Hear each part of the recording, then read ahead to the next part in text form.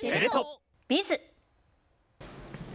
アメリカの女子プロバスケットボールリーグの最高峰 WNBA のワシントン・ミスティックスと契約した町田瑠唯選手が25日入団記者会見に臨み緊張した面持ちで抱負を語りました。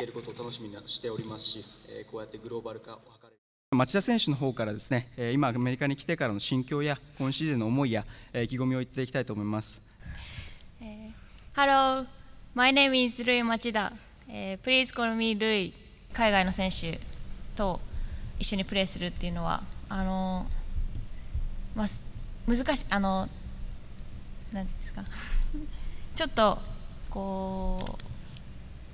大変なところもあるかもしれないんですけどやっぱすごい楽しみの方が大きいです。去年の東京オリンピックでは日本の司令塔として銀メダルに貢献した町田選手来月開幕する WNBA の公式戦に出場となれば日本人として4人目となります。